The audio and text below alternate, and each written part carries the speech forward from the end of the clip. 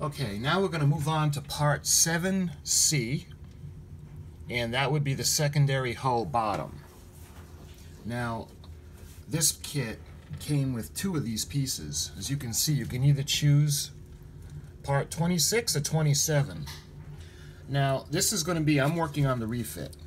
If you were going to be doing the 25, um, the NCC 1701A, you would use the, the part 27. Because if you can see by looking at the bottom, the refit on the little indented uh, area, it's smooth. On the NCC 1701A, there's actually like grid lines there. So, first thing I'm going to do is I'm going to wash it because there's a lot of, you can feel the, the release agent's kind of greasy film on there. So I'm going to use dish soap. Um, excuse me, I'm going to wash it and get it ready to prime. Alright, so I went ahead, I washed it um, with uh, dish detergent because um, it's a good degreaser. I just use the Ajax. So you can see the surface is nice and clean. And I'm going to prime it with Bullseye 123 primer. Um, I'm probably going to do the inside first. So I'll do it that way and I'll show you what it looks like when it's done.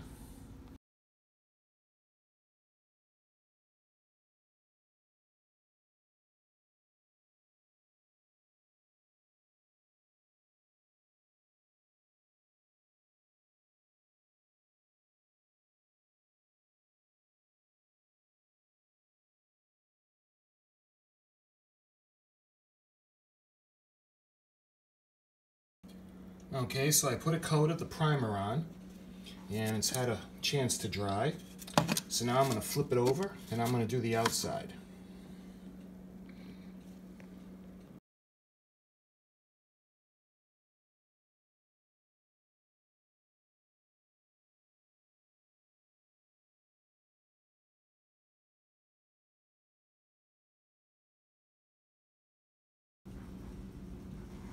So the uh, it's all primed. Looks pretty good. It's nice and smooth. What I'm going to do now is I'm going to paint the inside and I'm going to put it bright white. Let me show you what I'm going to use because I'm going to use something different from the outside. Um, I'm going to use the Project spray paint for the inside, but it's bright white. So after I get it all done, I'll show you what it looks like when the inside is painted.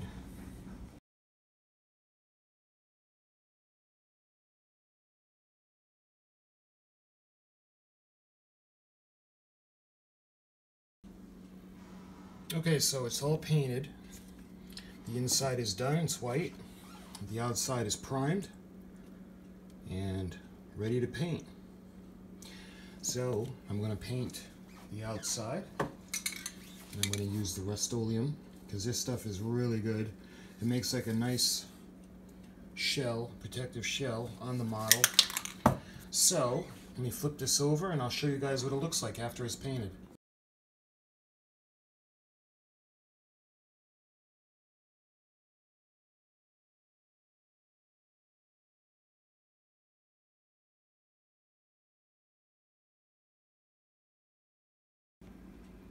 Okay, so it's had all night to dry.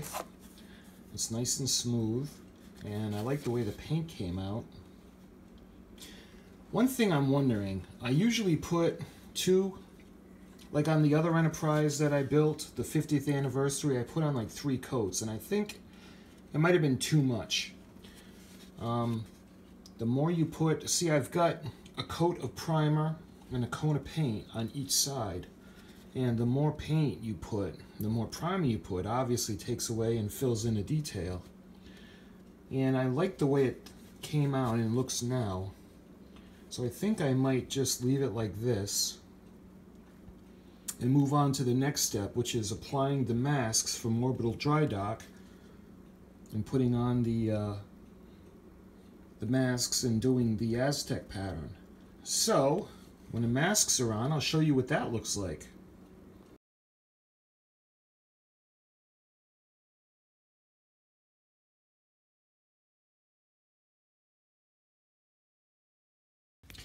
Okay, so I'm ready to move on. We're going to apply the paint masks, and of course, I told you I got them from Orbital Dry Dock, the five color Aztec masking. And I put my patterns in. Well, I colored the way I want it colored. Um, the rib section and the bottom, I kind of took, I got um, the uh, painting guide from Trek Modeler. And it wasn't exact because the um, the orbital dry dock mask is different than the one they used, but I got the, the gist of it and put in what I wanted to follow. So I'm pleased with that pattern. I'm going to put that on. You can see this part has the ribs. I know it's going to be tough to see. And I'm doing the Enterprise refit. Um, the thing you see right there is for the, the slanted section on the bottom of the secondary hull. And this is actually for the Enterprise A. Um, you put that on, you remove all the individual paint masks, and you uh, do that. Um, I'll get to the refit um, in, a, in a little while. So that, those are the ribs. And again, I apologize if you're not able to see the the um, patterns. And oh, it's on this side. Okay. These have the um, the center of the belly. So the first thing I'm going to do is I'm going to cut out the pieces that I need, and I'll show you what they look like.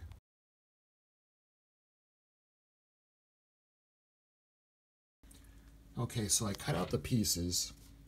And these are, for me anyway, they're really hard to see. So you got to be careful when you cut them out because not all the sections um, will be grouped together necessarily on the sheets. And through the Orbital Dry Dock's um, recommendations, I am using gloves to avoid as much skin contact with the masks as possible.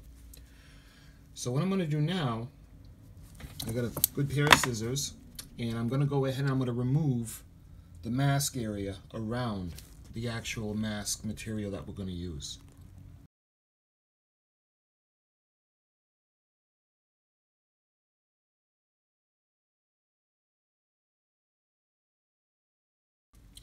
So I went ahead, I removed the material around the masks, and you know, this stuff reminds me of Colorforms. Um, I don't know how old you guys are, some of you watching. Um, if you remember when you were a kid, they had these little sticker vinyl things called Colorforms that you stuck onto plastic backgrounds and you could make scenes.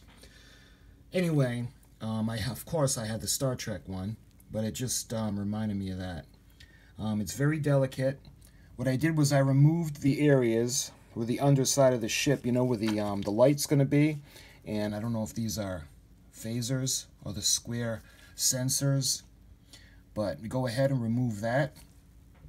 Once all the material around the masks is removed, what we're going to do now is we're going to put the tape. We're going to, let me show you what the tape looks like. This is the tape. And we're going to mark off exactly how much we're going to need. Uh, need and I'm going to cut it and we're going to put it onto the masks. So I'll show you what that looks like in a minute.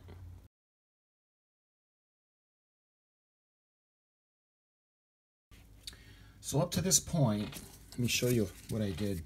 I cut the piece of tape. I know you can't really see it.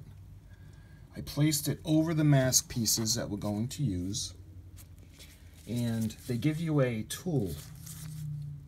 And what you do is you press it over the tape and you get rid of all the air bubbles. And you'll be able to see um, when it's a good contact because it's very smooth. Now, what I'm doing right now is I'm going to cut out all the pieces now, all the mask pieces, and I'm going to cut it as close as possible using the scissors um, to get ready to apply to the secondary hull.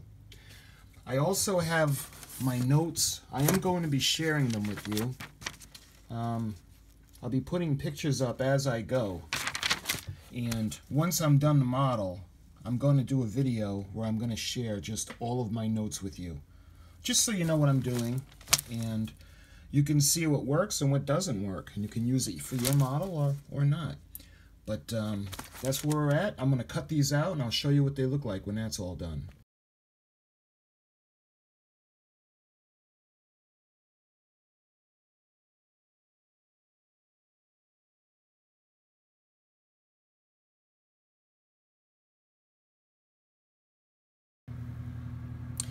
Here's what everything looks like. It's cut out. See the rib section. This is where the arboretum is going to be. And one a little side note: when cutting out, you have to cut out the uh, the areas where the little light is on the bottom. Um, I don't know if these are phasers or sensors, but this is where the LED light's going to go, and one of the strobes. And you have to uh, paint these a different color. So in order to get it down so it's flat, you have to cut out the areas that go there. So that being said, we're all set. We're going to go ahead and we're going to apply the masks. Let me show you step by step.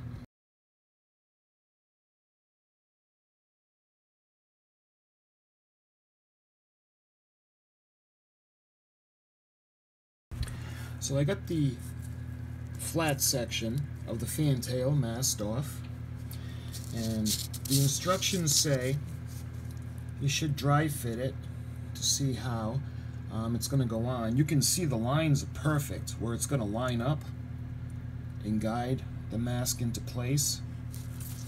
Um, the instructions suggest you start on this side, which be, when you're looking at it, the left side. So the actual ship, it would be starboard side, excuse me. It took, it took me a while to figure out what side. So you start on the starboard side, and you're going to line up in this corner. And then you're going to line the lines up, bring it all the way down, and put it into place. But before you do that, you're going to have to peel off the backing of the masks. And what you do is you start at the point, and you gently pull it back keeping it flat against the surface and you bring it all the way back until it's completely off and then you can guide it using the lines in the model. That's why I had put um, the um, primer and I put the coat of the paint on to get it nice and uh, the color nice. But if you go overboard on the primer and the paint, you're going to start to, you know, hide the lines that are there in the model. And that's one of the beautiful parts of the ship, of the lines. So anyway, I'm going to put this part on, and I'm going to show you what it looks like. Hopefully everything lines up.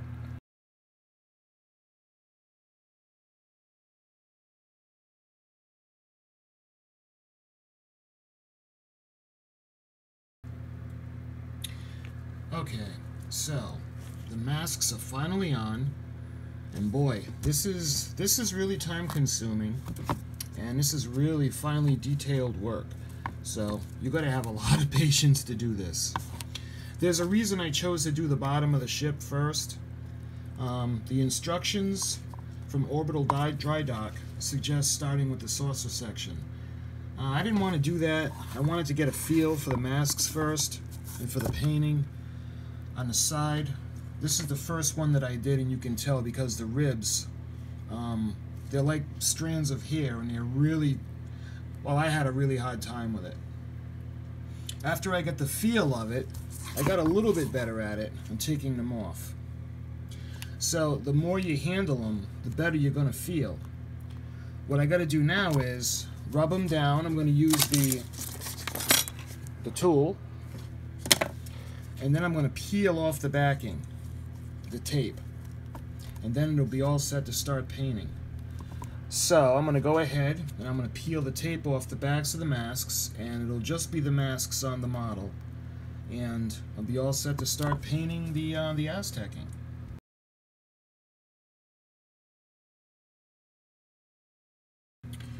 Okay, so I got them on as best as I can. Um, boy, this really takes a lot of patience. For me, anyway. I mean, they stuck everywhere they weren't supposed to stick, and they wouldn't stick where you wanted them to stick. But anyway, I'm going to start to paint the Aztec pattern on the bottom. And I'm using the plan that I that I got. So I'll start by doing the bottom and I'm going to be doing the green first. So every time I do the green, I'm going to take the piece off, put it on a piece of wax paper, and I'm going to mark it with a marker to see that uh, I had already done that section.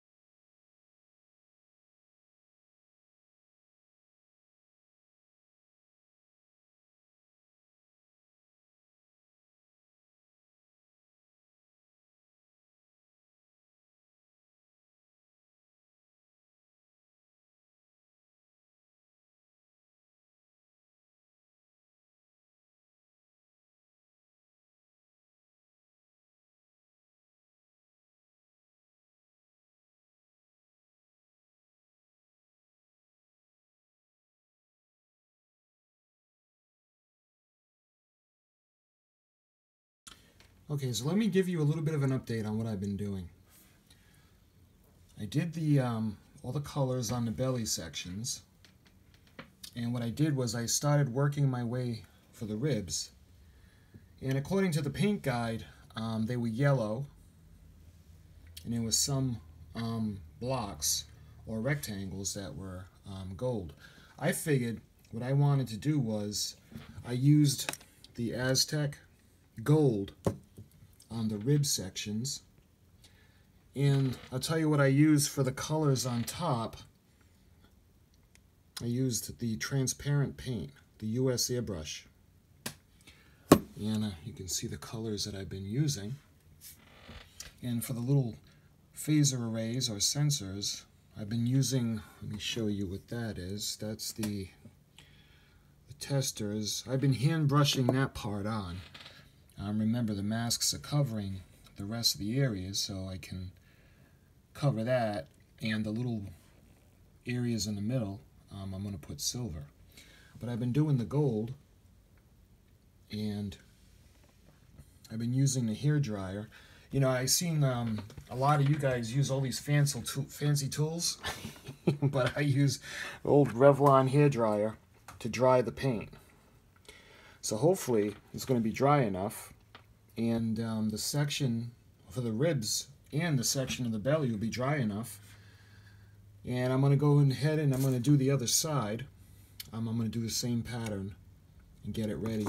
You can see some of the other colors that had gotten onto the hull itself. I was going to paint over it and paint it white, um, but I kind of like the way the colors look under the gold. See right over here, um, the masks had blown off, and when I was painting the other colors, I should have covered it all, but I didn't. But it might be a good thing because these made like different colors underneath. So when that's dry, and that's dry, I'm going to go ahead and I'm going to do the other side. And I'll show you what it looks like when it's ready to take the mask off.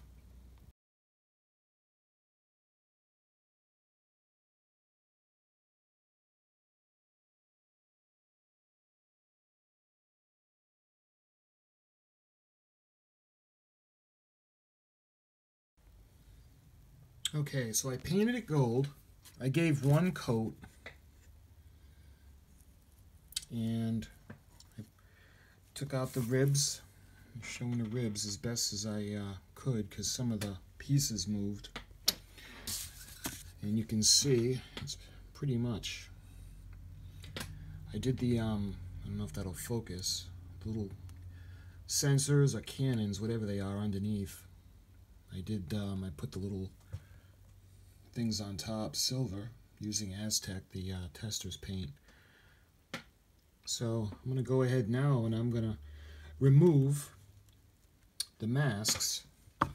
Wish me luck because these masks are expensive and once they're off I can't put them back on so hopefully I didn't screw up the paint job.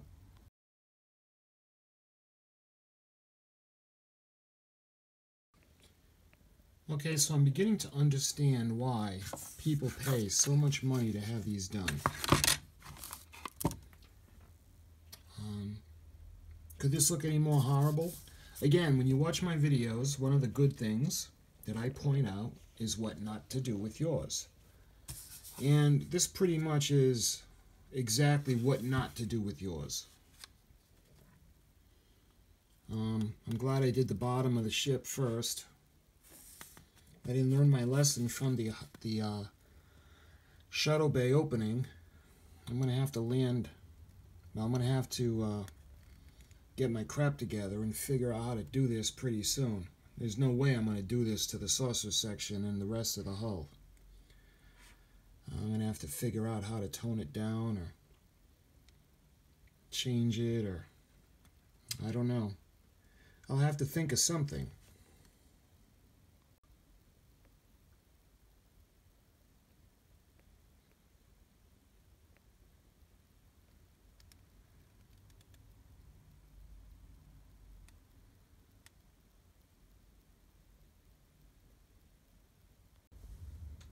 Alright, so this is not the result that I want. So I'm going to go ahead and I'm going to clean all the paint off. I contacted Orbital Dry Dock and I asked if they sold just the couple of sheets, like the individual sheets, because I, when I took the masks off, I threw them away. And I haven't heard back from them. So what I'm going to do is I have the pattern and I got Frisket. And what I'm going to do is I'm going to print it out on a computer and I'll lay it on that way. Back to the drawing board. First thing I'm going to do is clean this back up.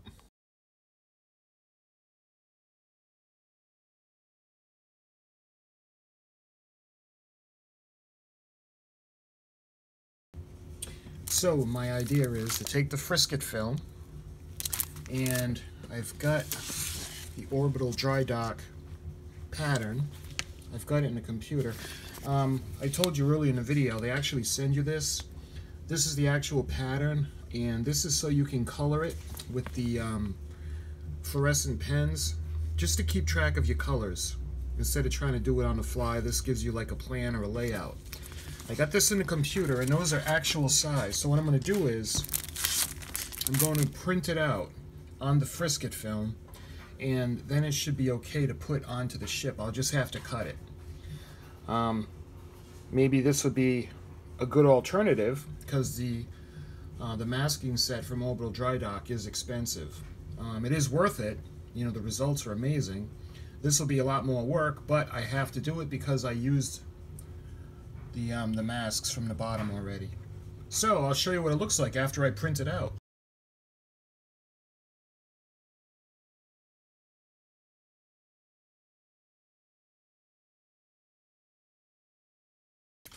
Okay, so back to the drawing board. I sanded the hull down, cleaned off the, uh, the paint that was there, and I repainted it. And I used the frisket, and I had the pattern, so I scanned it into the computer. And if you're going to do this, um, when you print it out, print it out from the picture that you scanned in. Don't save it as a PDF file because it won't come out actual size, and then you'll well you'll be screwed.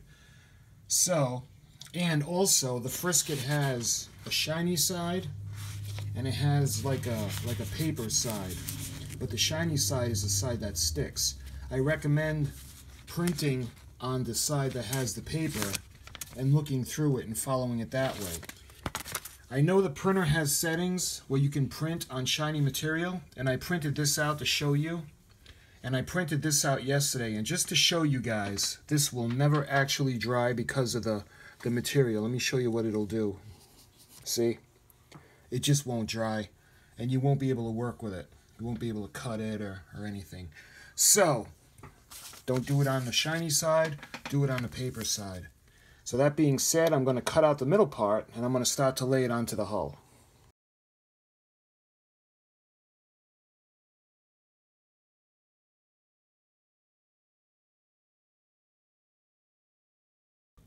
Okay, I'm ready to repaint. Everything is masked off and the frisket has all been put on and that was real fun. Um, you're going to have to be really patient if you want to do it this way. For each little piece that you cut for the frisket, um, to separate the film from the backing can be really maddening. I find that it's best to put one end on a piece of tape, then you put another piece of tape and you push them together, and when you slowly peel the tape apart, um, the adhesive or the scotch tape will separate, and you can put the frisket on. This is really making me regret screwing up the first time with the uh, orbital dry dock masks, but let's see what this ends up looking like. So much like the orbital dry dock mask, every time you take a piece off, you put it on the wax paper, and you mark it with permanent marker, and then you put it back on to keep track. That being said, let's uh, remove the masks and I'll see what it looks like.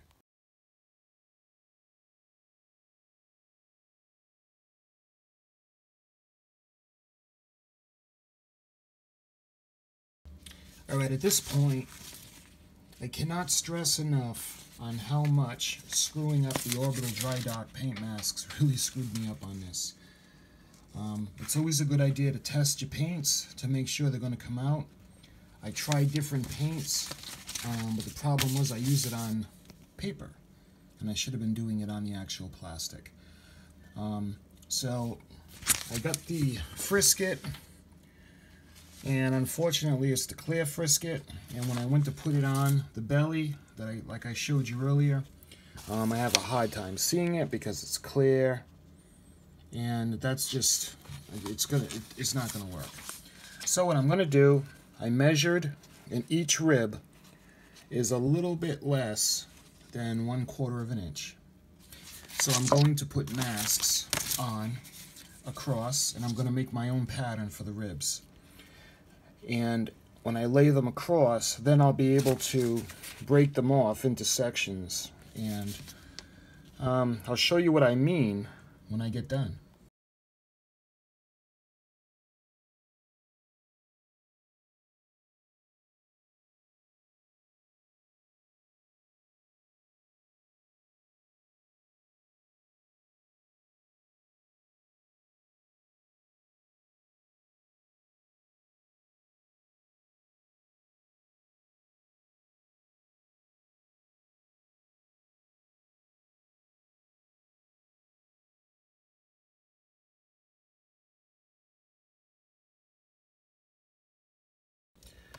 Alright, so here's what I did.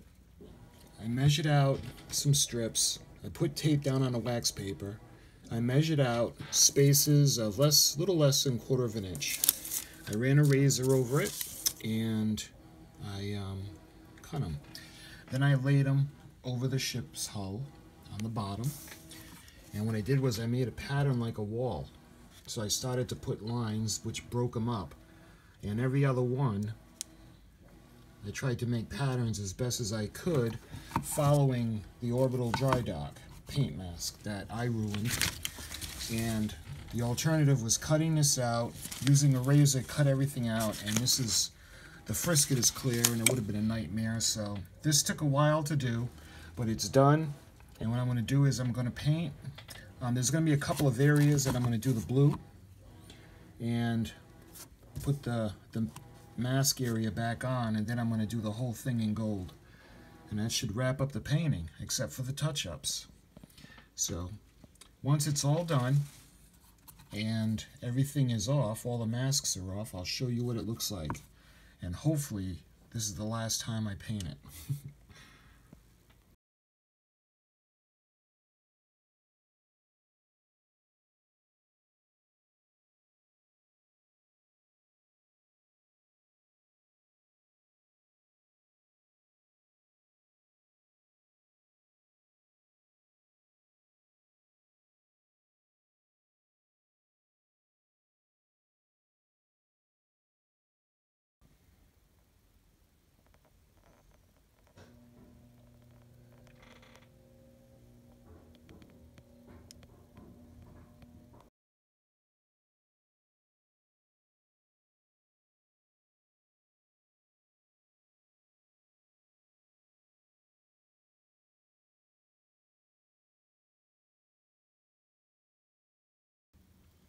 Now that's kind of what I was going for.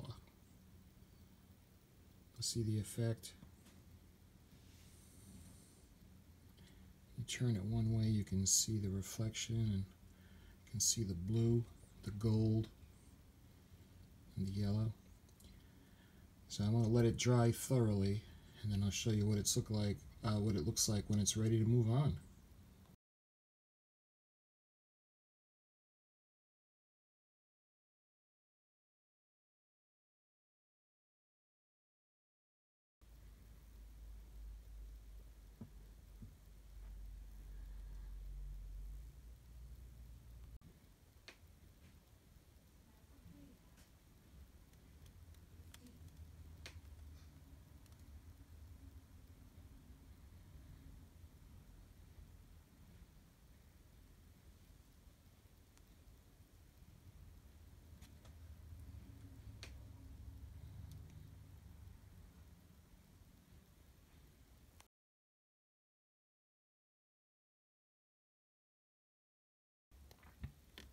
Alright, so I finished painting it.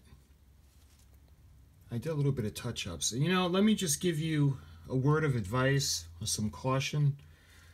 Um, I'm using what's supposed to be masking tape for painting. And when I've been putting it on, it's it, it might have something to do with the paint that I'm using, the Rust-Oleum. This paint is so good. It makes such a hard protective shell on the model that when I need to touch up areas, I was putting tape over it, and when I was peeling the tape off, even though I was careful about it, it was actually taking off the paint. It was taking off the Aztecing. See, there's an area right there where the paint came off, and it was on a tape. So, this is the only section that I use tape and stuff because I screwed up the Aztec um, from Orbital Dry Dock. The next sections I'm going to be doing the sides and I am definitely heeding all the warnings and doing it the right way. And I actually found the correct paint. Let me show you guys. First paint that I used, I used the Testors, the pearl. And though it looked nice, it really wasn't that pearlescent. And trying to thin it out, it didn't work on the paint with the Rust-Oleum. Me show you what I use. I like the Rust-Oleum. Rust-Oleum is, of course, it's a oil-based paint. Problem with this one was, every time I tried to thin it out, it was water-based. So it would, you know, the, the paint would ball up and just beat up on the surface and it just was not working. So then I figured, well, maybe I need some translucent paint. So I got the US Supply airbrush paint that was translucent, uh, excuse me, transparent. And that didn't work. That was even worse. That was when I got done, it looked like an Easter egg. And I decided to keep all this in my video just to, to show you guys. You know, not everybody, you know, sells these things for eight grand and knows what they're doing like me. I, I have no clue. So I learn as I go. And all my mistakes are going to be your well, learning tool. But I found the best paint, at least for the Aztecing, the Inspire airbrush paint, the pearl color.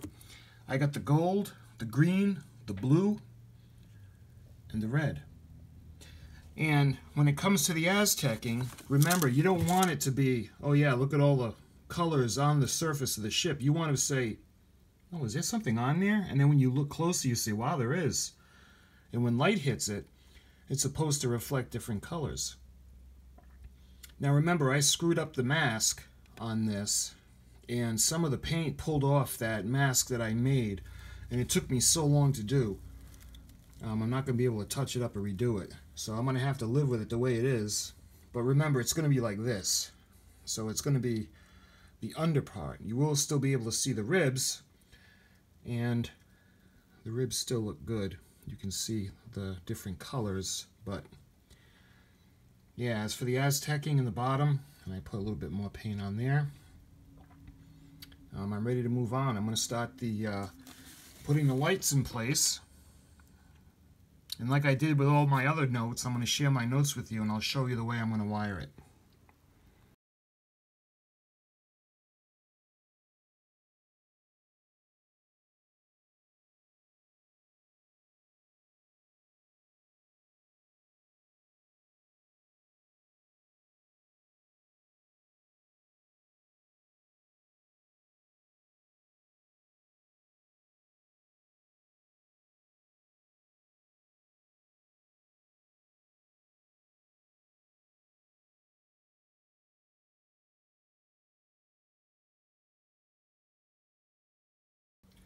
Okay, so I glued the windows into place and I did the photo etch pieces. Now because the photo etch pieces are so small, um, very finely detailed, what you do not want to do is run a blowtorch over it because you'll ruin them. Um, they suggest a hot plate stove, um, an electric stove. We have an electric stove, but it's got a glass top, so it wasn't hot enough. So what I did was, I put pictures up and I used pliers, held onto it, and I used a cigarette lighter on a very low flame on the bottom.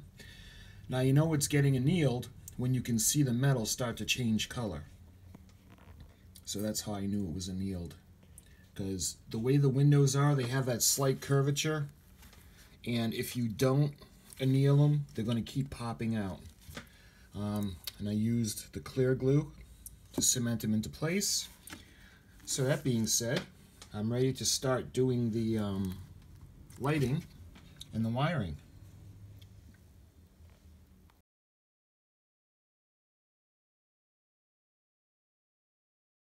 Okay, so when it comes to the video, um, excuse me, the wiring, I did a diagram, and of course I'm going to put up all my notes so that you guys can see what I'm doing.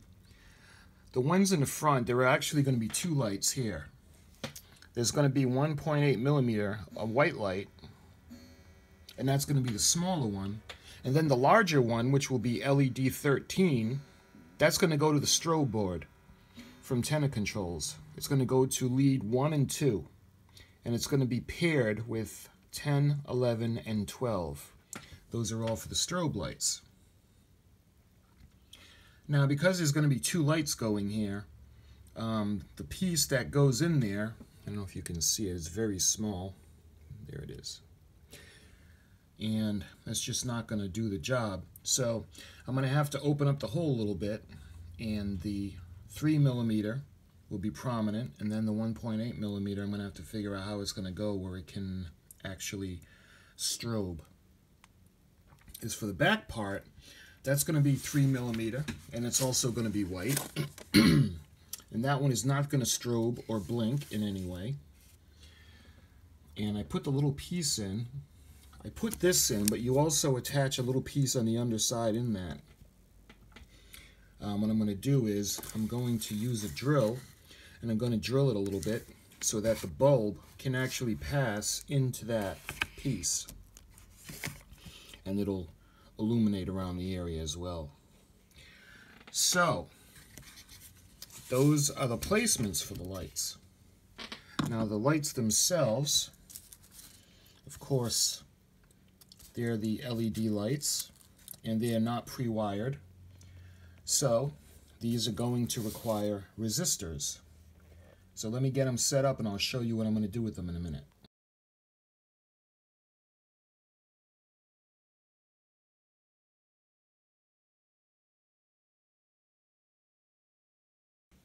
Alright, so I got the bulbs laid out. I got the 1.8 millimeter and two 3 millimeter bulbs. And if you just hook them up to the power source the way they are, they will burn out because there's no resistor. So the resistors have to get soldered onto the leads. Now when it comes to the LED lights, the long lead, you got a long lead and you got a short lead. The longer lead is positive, the positive side. And that's the side that the resistor is going to be um, soldered to. The positive side, or the longer side, is the anode side that will get the resistor. The shorter side, or the negative side lead, is the cathode side. So what I'm going to do is I'm going to prep the bulbs, and I'm going to solder them, and then I'll show you what they're going to look like when they're done.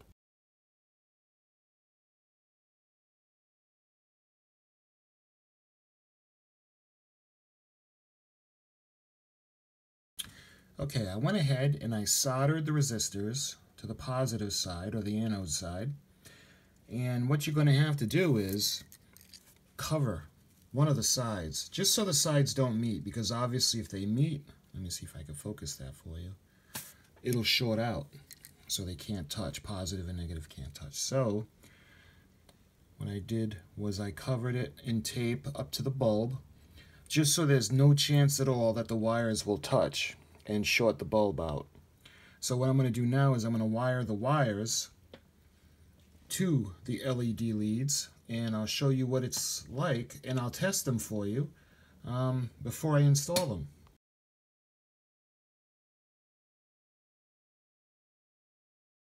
Okay, so I soldered all the leads to wires and then I taped them just to make sure that they be secure.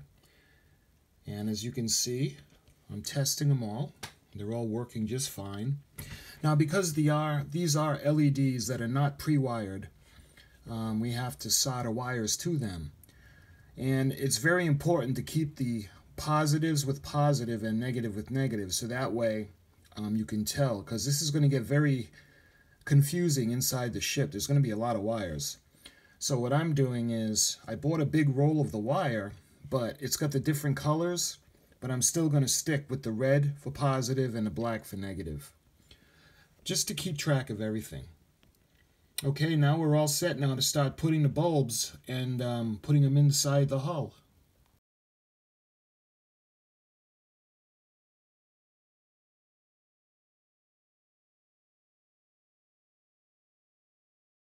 Okay, so I hot glued the bulb for the rear of the ship into place and hot gluing the wires. Again, to keep them neat, because it's going to get messy in here. There's going to be a lot of wires. So let me go ahead and I'm going to glue the next one into place. And I drilled a hole underneath where the arboretum is for the next um, light.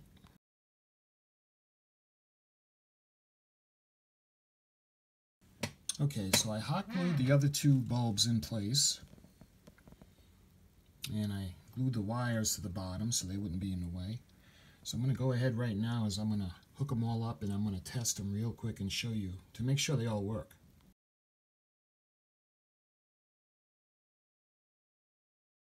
Alright, so I got everything hooked up to, it's hooked up together, that's just to test all of them. Remember, I'm going to be plugging it in, so the temporary battery pack is just temporary. So let me show you the bottom. Hopefully it stays connected.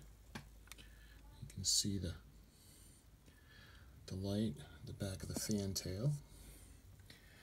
And the one in the front is the one that's going to be going to the tenant control strobe. And the one in the middle is the one that's going to be on all the time. Um, forgive the quality of the video, I know it's pretty crappy. I'm using my phone. But, alright, the wiring part, at least for the bottom, is all set for the lights. And this is just three lights.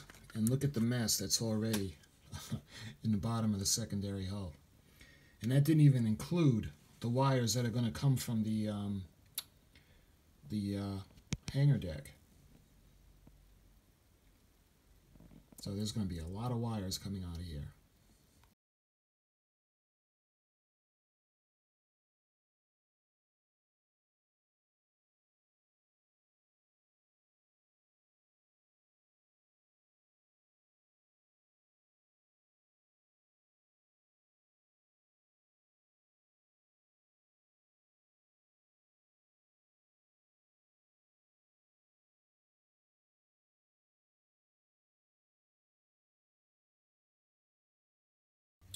All right, it's just to give you an, exa an example of everything that's in there and how crowded it's going to be in there.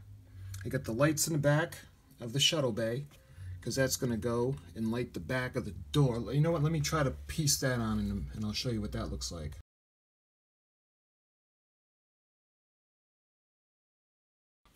All right, so I pieced the back on. It's not uh, it's not glued or anything. I just wanted to show you guys what it would look like. So that's on all the lights to light up the back, the shuttle bay opening. And uh, you get the bottom, lights for the light in the bottom. Like I said, the one in the front, the light in the front is going to be for the strobe. And you get the one in the back of it, that's going to be on constantly. And it just went out. But you get the idea on all the wires, and that's not even the um, the landing bay interior is not even lit up because that's going to be on a different circuit. Um, I'm going to put that on, on, its own switch, so when I'm when no one's looking at it, I can just put it off. So that, my friends, is the bottom of the secondary hull, and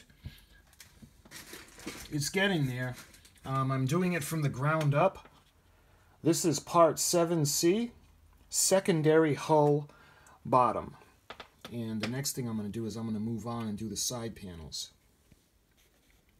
Because there's, you know, it's again with the fit of this model kit, um, you got to be careful when you do the painting and the priming because, uh, you know, it, it thickens it up, especially the better quality paint you use. Let me put the lights back on for you and show you what I mean there's little grooves that go in there. And when you put the paneling on of the side, there's a lip, and the lip goes in. But if everything, when you put on too much paint, it actually changes the size and the, you know, the slots in the model. So it doesn't go together. I found that out the hard way on the back. And I'm going to have to do some sanding to get it together.